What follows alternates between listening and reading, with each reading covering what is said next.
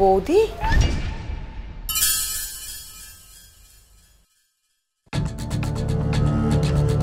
উমা বৌদি তুমি এখানে কি করছ?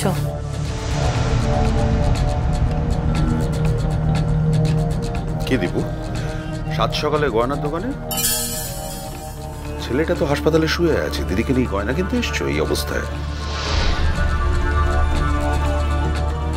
এই একই কথা তো আমি তোমাকেও বলতে পারি অনিন্দদা তোমার ছেলে তো হাসপাতালে ভর্তি। অথচ তুমি এই গয়নার দোকানে তোমার বান্ধবী আর বোনকে নিয়ে এসছো গয়না কিনতে? দীপু আমি তো আদিক্ষেতা করে রাত্রে হাসপাতালে ছিলাম না। উনি ছিলেন। আমার দিদির না এখন গয়না কিনতে আসার মতো মানসিক অবস্থা নেই অনিন্দদা না না দিদির কেন হবে? তোমারও তো হতে পারে। ভাগ্নের বিয়ে বলে কথা। তাই গয়না পছন্দ করার জন্য দিদিকে নিয়ে যাই। তোমার মুশকিল হচ্ছে কি বলো তো তুমি নিজের মতো করে সবাইকে ভাবো। তুমি মনে করো ঠিক তুমি যেভাবে চলছো পৃথিবীর সবাই সেই একইভাবে চলে। মিঠুদি কি ব্যাপার? সকাল সকাল ডিঙ্কাকে দেখতে গেছো হাসপাতালে তারপর এখন আবার সোনার গয়না কিনতে এসছো। বাড়িতে কাজকর্ম নেই? না না আজকে তো বাড়িতে লোকজন আসবে কাজের বাড়ি সেখানে সেখানে তুমি না গিয়ে এখানে কি করছ তুমি? বুনি দিদি গয়নার দোকানে কি শুধু কিনতেই আসে? কেউ কেউ বিক্রি করতেও তো আসে।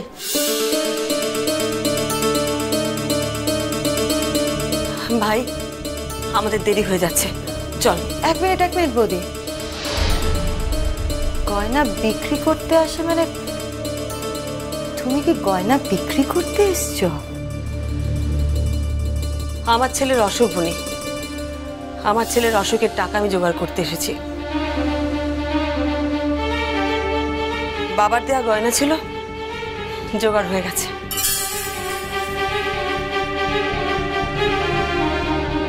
কি আশ্চর্য দীপু দিদির ক্রাইসিসে একটু দিদির পাশে দাঁড়াতে পারে না। দিদিকে সাপোর্ট দিতে পারে না। দিদিকে শেষ পর্যন্ত গয়না বিক্রি করে টাকা জোগাড় করতে হচ্ছে হ্যাঁ?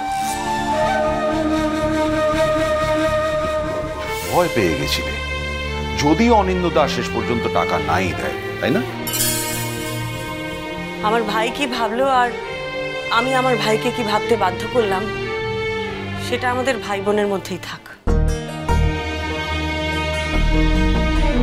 এই যে গয়নাটা আমি বিক্রি করতে এসেছিলাম না এটা আমার বাপের বাড়ির দেয়া। তার মানে আমার ছেলের চিকিৎসা আমার বাপের বাড়ির সাহায্যেতেই হলো। ওর বাবার থেকে আমায় কোনো সাহায্য নিতে হলো না।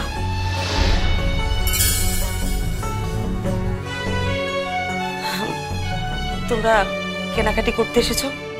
করো বনি। না না, বৌদি, তুমি ভুল বুঝছ। আমরা কেউ কেনাকাটি করতে আসিনি এখানে।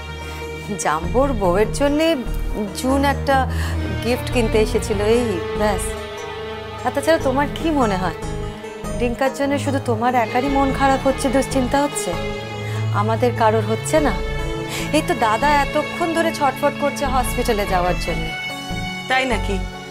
সেই জন্যই বুঝি বান্ধবীকে নিয়ে সোনার দোকানে এসেছে। গয়নাগাটি কিনতে? Your look out excuse me অরিন্দদা। আমি জানি যে আমার তোমাদের মধ্যে কথা বলার কথা নয়, তবে বারবার করে আমার নামটা আসছে বলে আমি কথা বলতে বাধ্য হচ্ছি। তোমাদের মধ্যে কি ঝামেলা আছে, তোমরা সেটা মেটাও। কিন্তু বারবার করে যদি আমার নাম ড্রপ করা হয়, তাহলে কিন্তু তোমার বউ বলে আমি হাত পা গুটিয়ে বসে থাকতে পারব না। আমার যদি মানহানি করা হয়, আমি কিন্তু আইনের পথ নেব। আমাদের মধ্যে তো কোনো ঝামেলা নেই, জুন। আমাদের মধ্যে কোনো ঝামেলা থাকবে কি করে? আমাদের মধ্যে তো কোনো সম্পর্কই নেই। বাইরের লোকের কাছে, সমাজের কাছে আমরা শুধুমাত্র স্বামী স্ত্রী। নামকে বাঁচতে স্বামী স্ত্রী। আর কিচ্ছু না।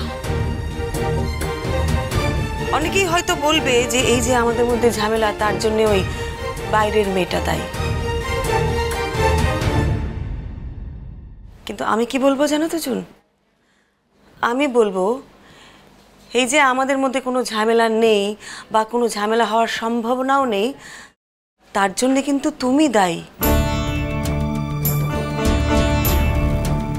আমি না তোমার কাছে কৃতজ্ঞ, সত্যি বলছি।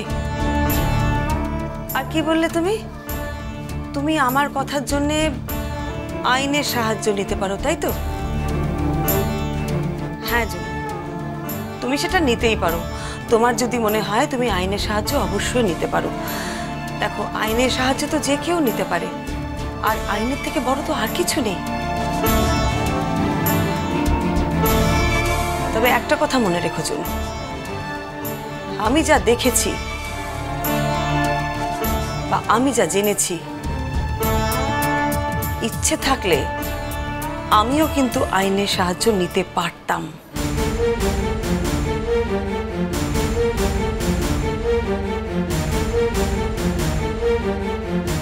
আমিও আইনের সাহায্য নিতে পারি।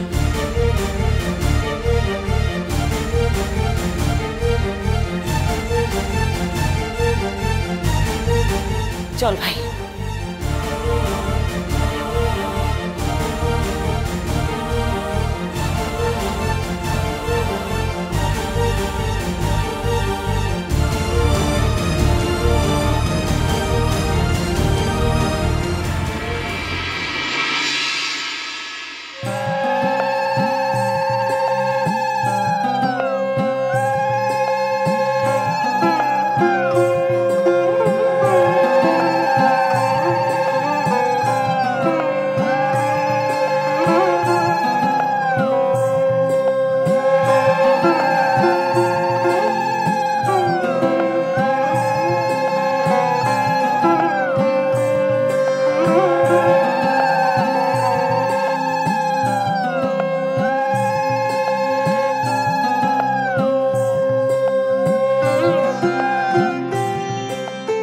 অঙ্কিতা ডোন্ট ক্রাই কাঁদছো কেন তুমি?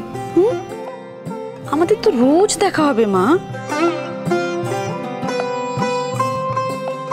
তুমি তো শ্বশুর বাড়ি যাচ্ছ, ওটা তো কারাগার নয়, তাই না? তোমার যখন যেখানে খুশি, সেখানে তুমি থাকবে। তোমার যখন খুশি চলে আসবে তো। লক্ষ্মী মা আমার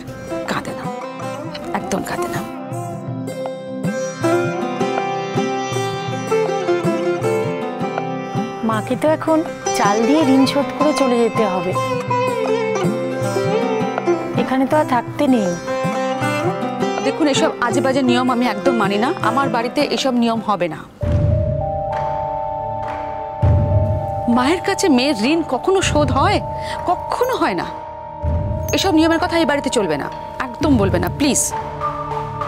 তুমি এবার আশীর্বাদটা সেরে নাও। এসো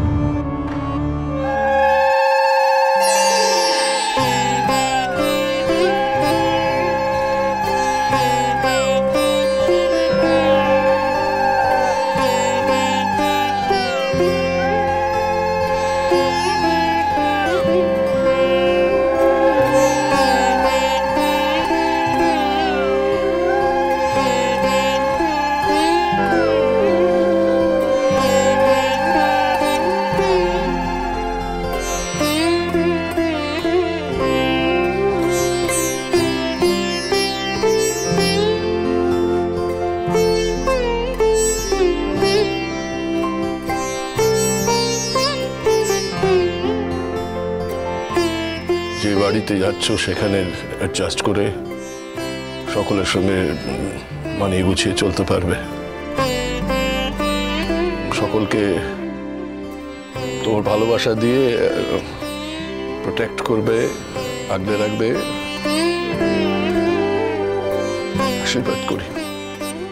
এর থেকে আর বেশি কিছু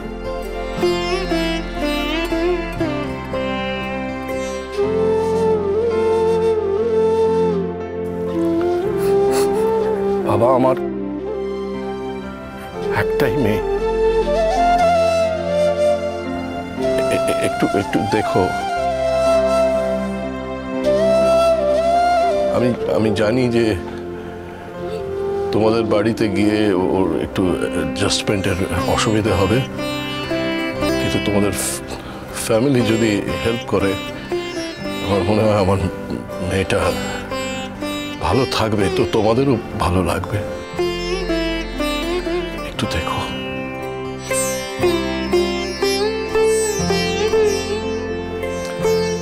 আপনি চিন্তা করবেন না। আমরা তো আছি।